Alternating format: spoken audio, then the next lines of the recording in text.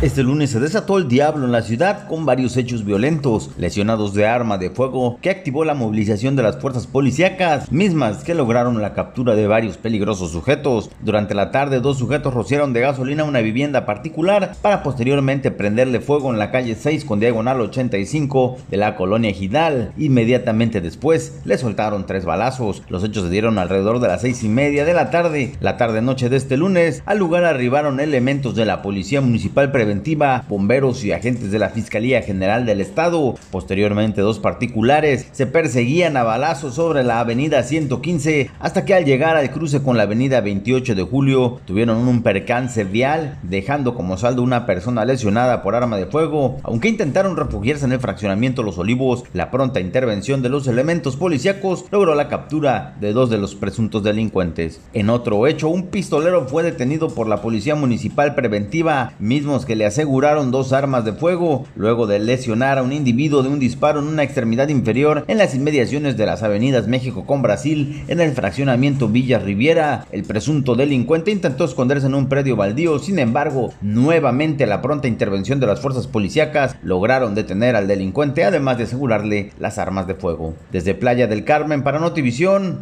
Edgar Olivares.